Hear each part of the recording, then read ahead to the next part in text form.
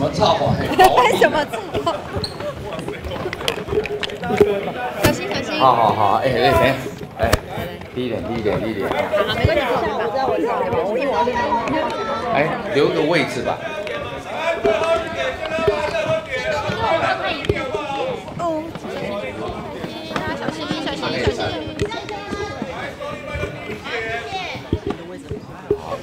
好，低一点低一点啊。好了好了，你可能要低一点，低一点。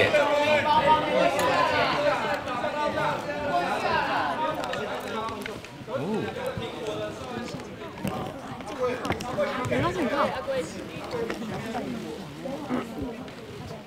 呃，啊，不好意思啊，呃，非常非常的抱歉，然后有这样的一个呃状态出来，然后我 很难得有一个呃这样的机会啊，是属于我不知道该怎么去说的，也没有什么开场白，那你们有什么话的话就我们就直接问，啊，儿子也来了，有什么状态你们问他就好了，好吧？宪哥昨天是不是都没睡？因为你感觉整个眼睛都是红的。还好，我平常本来就很少睡了，对啊，就还还还 OK。他昨天有跟儿儿子彻夜长谈吗？呃，聊是一定会聊的啦，就是说这个事情，呃，嗯，我是跟他讲啊，就是说要当个男人，对不对？十九岁多，生日过了就二十岁了嘛，对不对？你已经不算是，真的算是不小了，自己要去扛待这件事情。那我我我现在并不想要为他说些什么，对该怎么处理就要怎么处理。那人生又不是活到十九岁就结束了嘛，这后面的日子还很多，那你要应该学着怎么样去应对这些，对不对？而且我常在我的节目里面讲了一个东西啊，董事长最大的罪过就是不赚钱嘛，啊。那谐星最大的罪过就是不好笑。那儿子，你真的不好笑。啊，讲那个五四三是是在按他妈讲这种干话，你要够屌啊，对不对？你很屌的话，你讲这种干话，人家还会觉得说你是个咖。那你讲这些五四三的，那你又不是真的，你你你你恐怖分子吗？还是什么什么东西？那今天这个记者会就是变成有点乌龙，因为我们明知道事实的真相，然后我却要在这里接受大家来询问说，哎，你儿子到底是怎么样？啊，他你们跟他相处过就知道什么状态啊？啊，写那些五四三的，我我看了我真的无言呐、一个父母亲的一个角度来讲，我也不知道该回答什么。然后，那对他来讲，这种阵仗更是为难了。我都在想说，哎呀，干脆就是我站在这边给他的这个拷问，或者绑起来丢石头，都可以。那因为他怎么面对呢？啊，不来那怎么办？不来都在家里走来走去嘛，还是干嘛？对啊，啊人来了，我们请他叫他出来讲一下吧，好不好？好，好。哎。好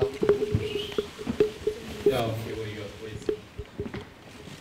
嗯，对，好，没有发问，我就直接把我预备的东西念出来。不需要，你看人家我跟你讲。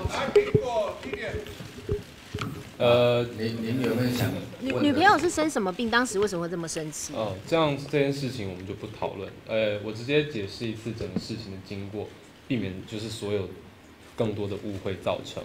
那首先我要跟大家对不起道歉，那就是我在昨天的十一点到十二点的时候，在我 Instagram 的小账号发了一篇现实动态，有提到所谓做炸弹啊，在炸台北市政府这样子的言论。那我当时的心态是，呃，纯属好玩，而且那是传给朋友们之间的，我们彼此之间的笑话。那是我们军营同袍之间常常一直讲说做炸弹这样子，现在知道是一个非常极端，而且不适合拿来开玩笑的事情。然后在发了那篇文之后呢，呃，有人截图，然后传到 PTT，然后又有新闻稿出来，我一瞬间才知道，呃，这样事情是不可以被接受，而且非常的大条，然后不仅让自己的那个形象破灭，然后让大家很恐慌，甚至让人家觉得就是台北不安全，那我都觉得非常的自责，然后第一时间我就赶快去做了笔录，然后笔录的内容呢，就是我跟解释了一番，这个就是开了一个玩笑。当时发那个文，其实并不是生气才发说哦炸台北市，其实不是，反而是因为轻松了下来，知道人家身体没有大碍，所以我才发了一个只有我跟我朋友之间理解的笑话。那非常抱歉在这边造成很多人的误会，甚至是很多人的恐慌。那我真的得要呃想要鞠躬跟大家道歉一下。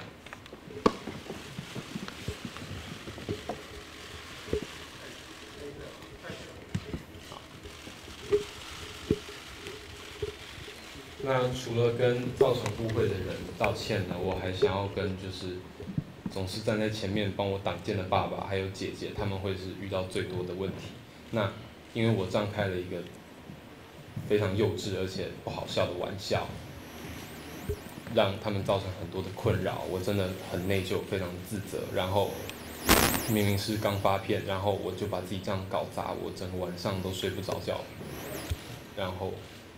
非常的对不起大家，还有所有关心我的，不管是粉丝，不管是爸爸的粉丝、姐姐的粉粉丝，对这件事情有有关心的人，我都感到非常的抱歉。这次是我完全做了一个非常不好的示范，非常的愚蠢，非常的白痴。然后我以后会更加的注意，在社交媒体上，不管是公开账号、私人账号，我都会非常谨慎的选择我要 PO 的文章以及呃要讲的文字。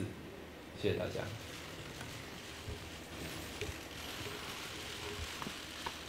会不会担心影响美国的学业？呃，如果美国的学业被影响的话，那我就得要试着好好的解释，因为我并不是恐怖分子。那我希望世界上是有正义、这道理的。那如果我这次做的就是荒谬的行为要受罚，我也完全会配合检方的那个惩罚，像是可呃一颗罚金或者是劳动服务，甚至要抓起来。我。敢做敢当，做了白痴的事情，我就要承承担，这是我的家教。妈妈昨天有在家里有先跟你说。哎，对不起，我没听到。妈妈在家里也有跟你说一些什么话吗？全家的人都非常担心我做出这么神经病的事情，而且大家都对我很失望。那我也是第一时间就发现我做的真的是不该犯的错，然后再一次又再一次的跟大家说，真的对不起，然后我不应该犯这样的错。我不应该讲这样子偏激的言论，就算是开玩笑，就算是认真的，一切都不应该。我现在理解了，甚至是到昨天的晚上，警察先生告诉我，我才知道原来就连这样轻佻开玩笑的口吻是有可能会设法的。